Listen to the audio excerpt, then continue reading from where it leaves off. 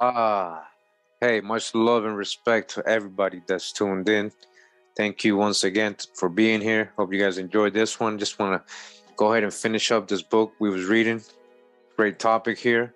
The book uh, that we're reading is Ireland Ur of the Chaldees. We've read, um, you know, many chapters of this uh, book. Yeah, so I wanted to share this. I thought this book was interesting, uh, even though they call it a fictional story. It's called The Islands of Chaldea, right? Chaldea. Chaldea is in Ireland, right? Or the British Isles, Babylon, Shinar is in Europe. Remember the previous chapters? And this is by uh, Diana Wynne Jones, The Islands of Chaldea. This is the islands, and it looks like the British Islands, right? Just a little backwards, like England on this side. And let me just show you what I'm talking about. So you see what I'm saying? So this long side on this side instead on this side. And it just split apart a little bit. Let's go back. Just split apart a little bit right here. But as you see, it goes all the way down with the hook. Look it down. And then the little island on the side. This is this is the island on the side. But to me, it looks just like the British Isles. And it's not talking about the Middle East in this book. All right. Again, looks a lot like the British Isles in the book Ireland Ur of the Chaldees, and chapter 13, Heber, chapter 13, right? We know biblically that's one of the uh, progenitors, they say, of the uh, Hebrews, right? Known both in the Hebrew, Islamic uh, traditions, and uh, other traditions all over the world. It says here the Irish records and traditions agree that Heber came from Iberia and that the south of Ireland was his portion. All right, they're saying that Heber came from Spain and Portugal, Iberia, you know, that area, the Mediterranean. It says here, Heber took the south of Eri. The order was so agreed on with its activity, with its power, with its harmony, with its victims, with its grandeur, with its hospitality, with its vivacity, combined with hardiness, with its loveliness and its purity. So Nennius gives it Heber is described as a crowned horseman. This Heber, or another one of the name, was the precursor of tribes of Arads or Arabs. All right, you see that? Different letters D or B. The D is used for B in many of the old Irish manuscripts, all right? Arabs, as well as in modern Irish books. Nennius, page 257, speaks on corporate Arad. Arad Tyre, Arad Shalak. Again, in the same book, these tribes are called Kerfi Arad, Arad Tiri, Arad Kliak. O'Donovan describes them as the tribes settled in Duhara in Tipperary. Nennius, page 569, says the descendants of Eber are Egonots in every place. Interesting words, Ego, Egonots. It almost sounds like Huguenots. Hmm. And at Anti-Lock Line, Cassell, Glenda Marin, and Ross are guide, Ikide of Raffling without oppression, magnificent their apparel. Says here, in the days of the sons of Heber, right? On the sons of Heber, biblically, right there, Joktan and Peleg, just like it says here, Joktan, Jukatan, Joktan, and Peleg, there was a division of the earth. That is to say, countries were apportioned them, right? So you know, biblically, it says that in the days of Peleg, the earth was divided, right? We can take that physically, symbolically, or as they're saying here, is when is um, the countries were apportioned them. Peleg is believed by some to be Pelasgus, and therefore that Greece was settled in by his people. Peleg is in the Bible sometimes called Phalek, all right? Joktan took a tribe into Arabia, the Arab al-Ariba, the genuine Arab, the genuine Arab, the Arab al-Ariba, all right? Joktan, the genuine Arab, claimed to be a son of Joktan. He claimed to be a son of Joktan, the son of Heber. He prides himself upon being a purer blood than the Ishmaelite Arab, purer blood than the Ishmaelites, right?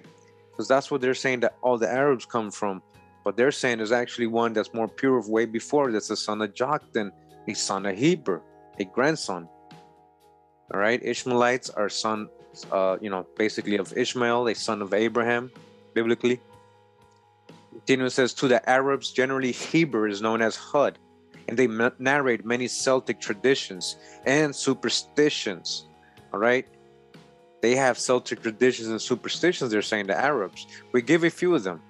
There was an old Gaul a common belief among the people that if witches tied knots in a cord and breathed upon them,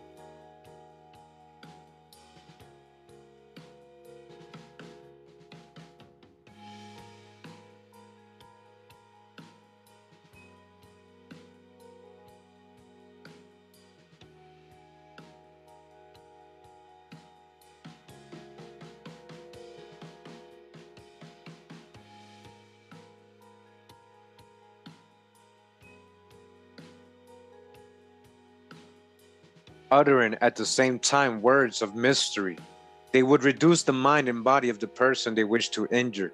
In France, in the present day, there is a relic of this superstition called Noir Egelet. It is referred to in the Quran. All right, they also have this in the Quran. Remember, this is an old Gaelic uh, legend.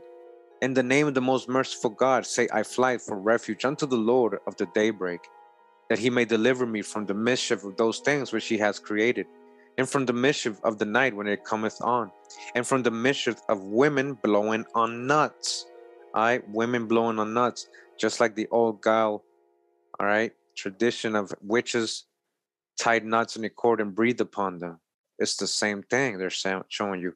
The followers of the prophet, according to Savary, have an implicit faith in the words contained in these two chapters they consider them as sovereign specific against magic, lunar influences, and the temptations of the evil spirit.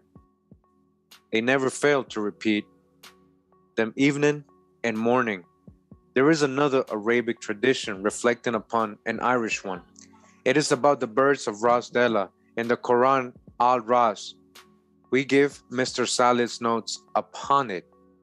The commentators are at a loss where to place Al Ras. According to one opinion, it was the name of a well, as the word signifies near Midian, about which some idolaters, having fixed their habitations, the prophet Shoaib was sent to preach to them.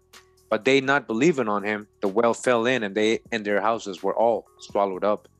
Another supposes it to have been a town, Jamama, where a remnant of the Tamudites settled to whom a prophet was also sent but they slain him were utterly destroyed.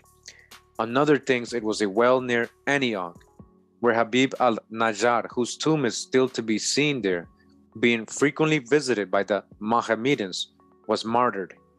And a fourth takes al Ras to be a well in Hadramaut, by which dwelt some idolatrous Tamudites, whose prophet was Hanha or Hantala. For I find the name written both ways. Ibn Safwan. These people were first annoyed by certain monstrous birds called Anka, which lodged in the mountain above them and used to snatch away their children, large birds, huh, when they wanted other prey. But this calamity was so far from humbling them that on their prophet's calling down a judgment upon them, they killed him and were all destroyed. This is in the Quran, entitled Al Furqan, revealed at Mecca. Now let us see how the Irish tale resembles this. Then we will conclude that inasmuch as the commentators could not find Al Ras in the east, it is beyond any doubt the Ras Dela of Ireland. All right, that's where it is. The Ras Dela of Ireland is Al Ras. From the Irish version of Nennius, published by the Irish Archaeological Society, we take the following account in connection with Ras Dela of one of the wonders of Eri. It is according to the book of Leinster or Glendalough, a belfry of fire which was seen at Rosdella during the space of nine hours, and blackbirds without number coming out and going into it. One great bird was among them and the smaller birds used to nestle in his feathers when they went into the belfry. And they all came out together, and they took up dogs with them in their talons, and they let them drop down to earth, and they died. The birds flew away from the place afterwards, and the wood upon which they perched bent under them to the ground. And the oak upon which the said great bird perched was carried by him by the roots out of the earth, and where they went to it not known. Rasdella, the place where the miraculous tower of fire was seen, is very little altered in, in name. It is now Rosdala, a townland in the parish of Durrow, near Kilbeggan, county of Westmeath.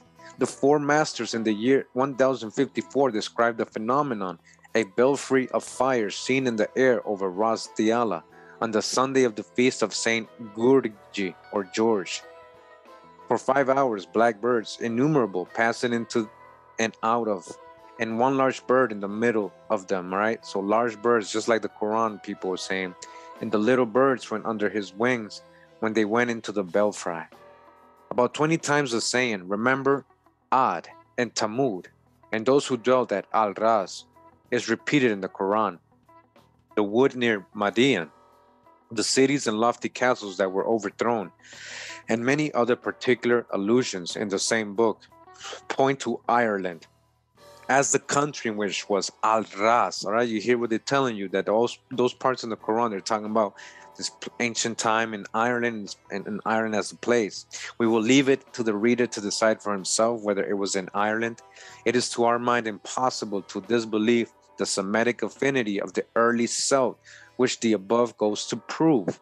It is beyond question that the Arab knows Hebrew as Hud, and worthy of notice that the country of Eboricum, Eboricum, remember that, Eboricua, Eboricum, Yorkshire is thought to have taken this later name from Joktan.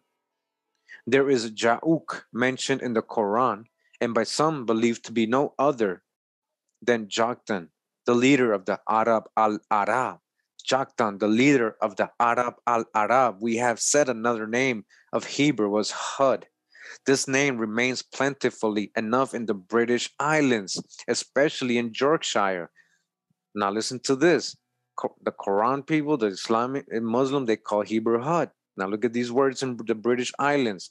Hudswell, right? Hud, Hudswell, Huddersfield, Hutnell, Huddington, Huddleston, are places in Yorkshire.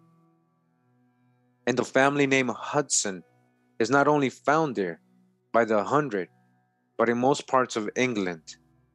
There are many also of the name Huddleston. In the Irish calendar of saints, there is a Mochude, which appears to have kindred resemblances to the original Hood. There is beside a Makod, Latinized Mock Good, referred to in the additional notes to the Irish Nennius, page 3. But the explanation of it is peculiar. Mancetter in Warwickshire, or Manchester. In the Irish legendary accounts of Heber, there is a much that may be regarded as genuine history. There is much.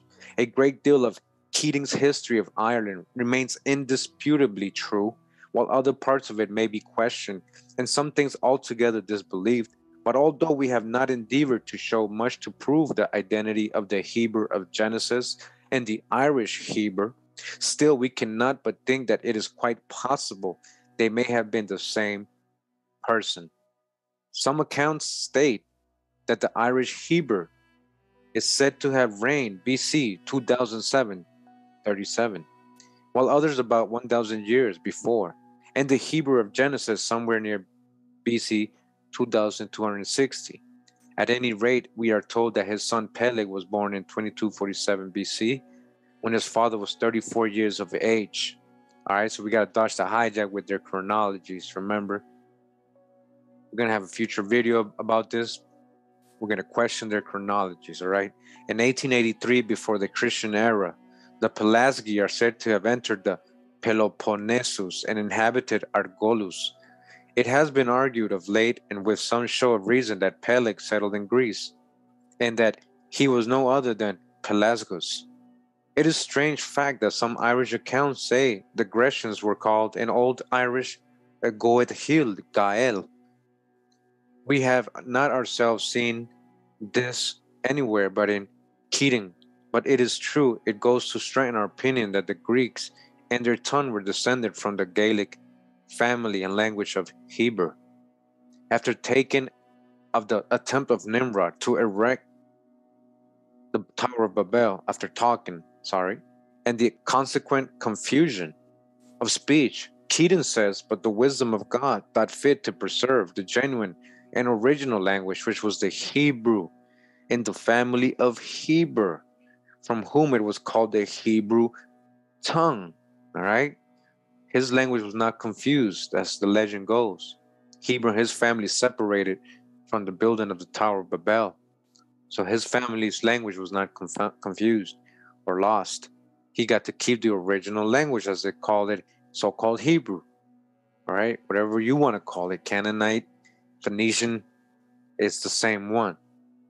And for opposing the designs of Nimrod, he furthermore relates the faithful Hebrew for his piety was rewarded with continuance of the original speech, and his own family, who preserved it uncorrupt and in its native purity, delivered it to the posterity bearing in mind the comparatively small period of time between the two Hebrews, according to one of the citations already quoted, and the difference may be accounted for by inexactness of the chroniclers of the Druid and the Jew. There is not much to decide us against believing that both Hebrews are identical. The land of Heber and the Hebrew, where it is it, if not in Western Europe. The Hebrews, of course, had possessions in the East, but the signs of them remaining there are few indeed as compared to those appealing to us for recognition in the west of the two continents. And that's a lot closer to America, right?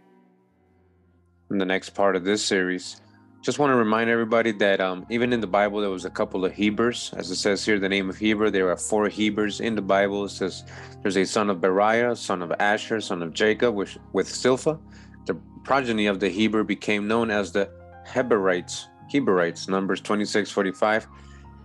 Says here, Kenite descendant of the cousin of Moses and husband of Jael, who killed Sisera in Judges 424, a descendant of Judah. 1 Chronicles 418. All right. A Benjaminite. 1 Chronicles 817. All right. So I know we're reading about Heber and Heber in um in Irish legends. So we're gonna read right now. It says here the Encyclopedia of Celtic Mythology and Folklore by Patricia Monaghan. All right, go real quick to a part right here. It says Eber.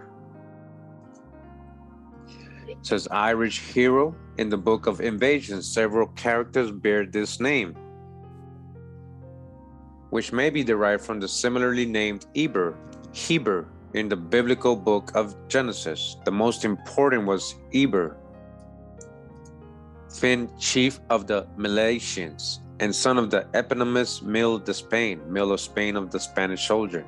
After his people's defeat of the magical race, the Tuatha de Danann, or the tribe of Danann, Dan, Eber was granted the southern half of the country, while his brother Erimon was awarded the north Eber, unhappy with the division and believing his portion to be smaller than Erimon's, mounted an unsuccessful war in which he was killed. Another character of this name, Eber Donn, was Eber Finn's envious older brother. He played but a small role in Irish myth and was often conflated with the king of death, Donn. Many different connections with the Celtic and the Hebrew, as we read in the previous chapters. A lot of websites talking about, as you hear, see here, Hebrew Celtic connection.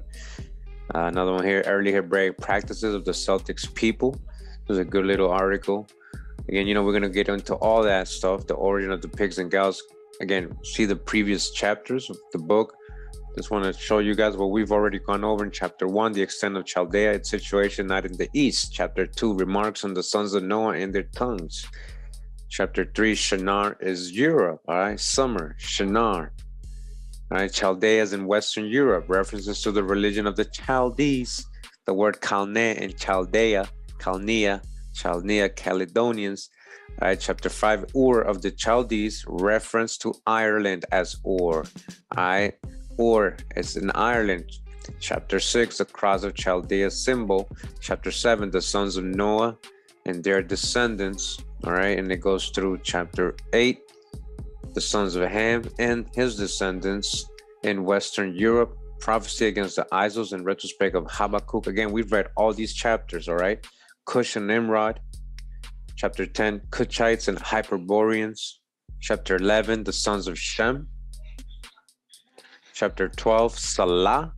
And of course, chapter 13, what we read today, Hebrew. All right. So I hope you liked, uh, enjoyed the video again. Just want to read that uh, chapter real quick. Again, not a not a long video. Just wanted to get that out the way so we can continue with the next parts. We'll come with a lot more videos, a lot more topics. Stay tuned. Wow.